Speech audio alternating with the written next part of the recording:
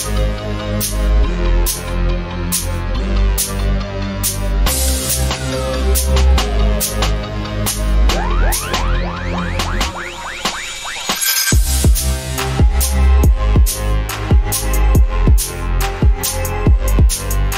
back.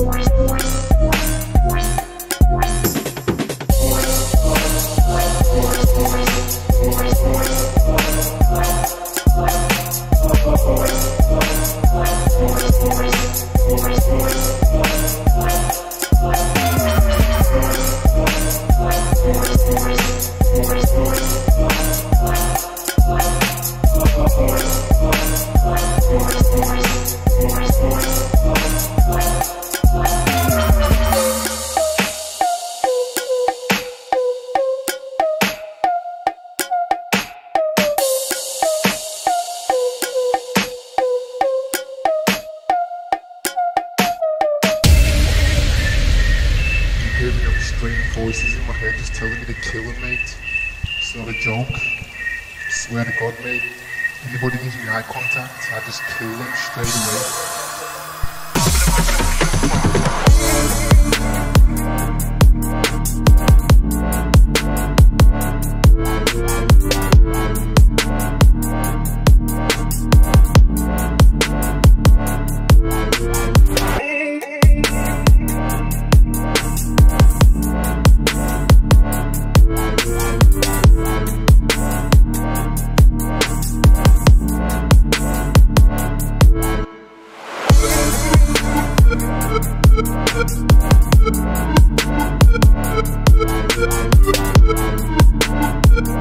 Thank